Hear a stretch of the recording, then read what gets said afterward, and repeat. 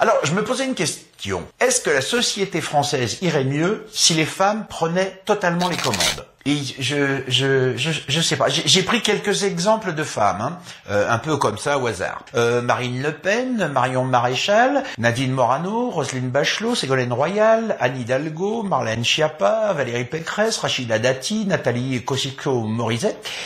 Et du coup, ça fait pas super rêver non plus.